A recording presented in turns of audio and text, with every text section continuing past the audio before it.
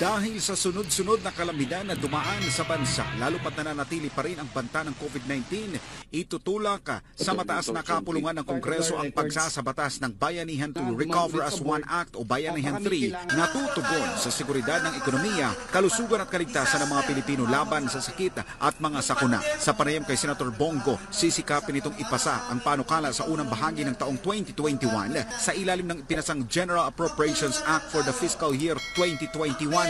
Ayon sa senador, maging siya ay hindi akalain na tatamaan ang bansa ng sunod-sunod na kalamidad bukod pa sa COVID-19 kung kaya't kung kinakailangan ng bagong pagpopondo at alokasyon para sa mga sinalanta at biktima ng mga kalamidad ay gagawin nito sa lalong madaling panahon. Eh alam mo, nasa pandemya tayo ngayon. Disaster after another disaster. So yung disaster na ito, pandemya, COVID-19, bagyo, baha. Hindi natin akalaing tatamaan tayo nito. Kulang yung pondo ng gobyerno. O kung kailangan, kailangan talaga palibagong uh, allocation, palibagong pagpupondo.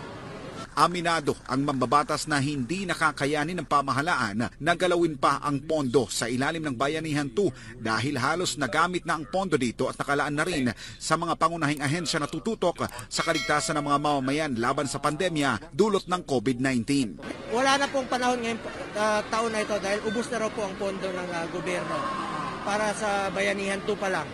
So kung kailangan next year na po siguro kung may pera po ang gobyerno. Nakausap ko rin si Secretary Dominguez.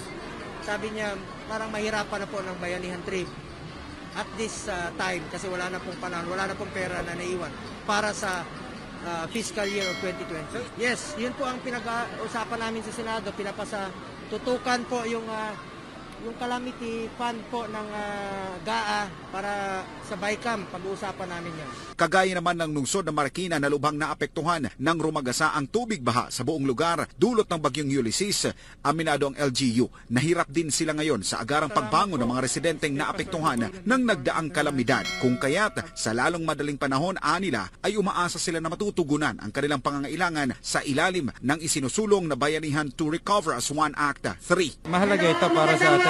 Buong gobyerno ay magtut, uh, naririto at tutulong. At kas- kakaibat pa dyan ang mga pribado. Samantala taliwas naman ito sa plano ng mababang kapulungan ng Kongreso kung saan itinutulak naman ang panukalang extension sa validity ng Bayanihan to Recover as One Act 2 na inaasahang mapapasok ngayong darating na buwan ng Disyembre. Sa isang pahayag, sinabi ni Majority Floor Leader Martin Romualdez na doble kayod ngayon ang Kamara para mapabilis ang approval ng mga panukalang makatutulong sa pagbangon ng ekonomiya. Kasama sa mga priority measures sa Kamara ang pagbabago sa Coconut Levy Fund, National Land Use Act, Right Sizing the National Government Act, Right to Adequate Food, Anti-Ethnic, Racial and Religious Discrimination Act at ang On-Site In-City, Near-City Local Government Resettlement Program.